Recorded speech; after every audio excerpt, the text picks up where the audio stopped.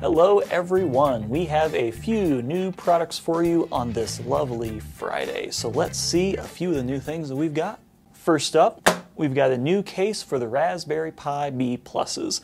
This is very similar to the previous case that we had when we launched the Raspberry Pi B Plus, except for this one is clear. So now we have it in the clear and the black. For those of you not familiar with this case, it does work with the new Raspberry Pi B Plus model. And you can see on this one it has a lot of different cutouts and access for the audio jack, the HDMI, the USB, and then we have a little um, slit here in the side so you can plug in the ribbon cable for the GPIO pins and the ribbon cable can just kind of snake out the side. We have access to the other USBs as well as the Ethernet. And then you see we've got a slit here and here for access to the various different things on the board. These are nice little cases and they even have a little um, vent here in the bottom. They come with little rubber feet that you can put on those corners. And we have a couple keyholes so you can mount that on a desk or a wall or wherever it is you're mounting your Raspberry Pi B+. Speaking of Raspberry Pi, we have a new cable for all you Pi fans.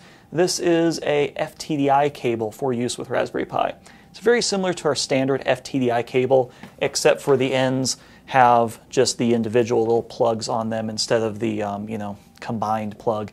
And so you see we have VCC, TX, RX, and ground and you can plug these anywhere you need on the GPIOs instead of having them together and you have to break them apart or whatever. Uh, this is a 3 volt cable, so it works well with the Pi. And of course, you can use this as a standard USB FTDI cable for pretty much anything else. It's just this one has these nice little connectors, which makes it easier to use on something like the Pi. And lastly, we have another new product.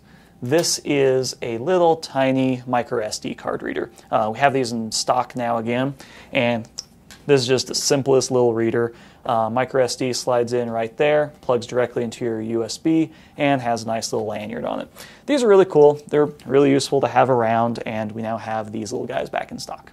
These are the fabulous new products that we have for this week at SparkFun Electronics. As always, go ahead and check out the rest of the new products on the website, sparkfun.com, and we'll see you again next week with even more new products.